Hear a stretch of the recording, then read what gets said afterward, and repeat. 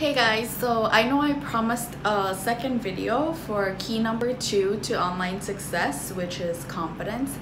But I gotta say, today I went to meet a refugee family and that took up five hours of the day. And so I know these are all excuses, but that's why it's 9 p.m. right now. No, I think it's even it's like 9:40 p.m. right now and I don't have anything for you. I even tried to make a slide and talk over it because I'm in pajamas and I'm talking about confidence and so it's a little bit of contradiction and I have no makeup. But anyway, I'm going to power through it. So I was thinking I'm going to share what I know about confidence. And the truth is, I really struggle with confidence because for so long in the corporate world, I was always bullied and kind of put down. And under pressure, I kind of go inward and I always thought I was an introvert.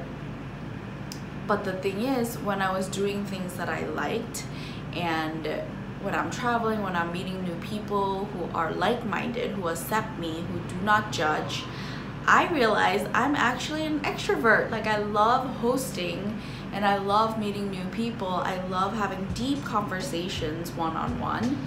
And I realize that's when I can gain confidence in myself.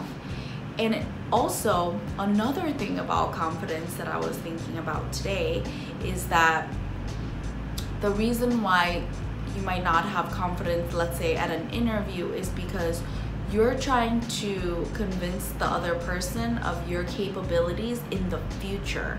And you're you can only base what you've known from the past and that might be why you feel uncertain uh, because it's the future. None of us know what's going to happen but you kind of have to mimic the belief that you have in yourself for the future.